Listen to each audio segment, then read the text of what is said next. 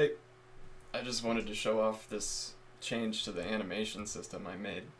The player now reacts to the movement of whatever they're standing on, which enables me to make large moving objects that can be stood on, like these platforms or uh, wobbly parts of nature or like huge machinery or buildings with moving parts. So this is a part of the next update that uh, I was just excited about and thought would make a good video. So um, there you go.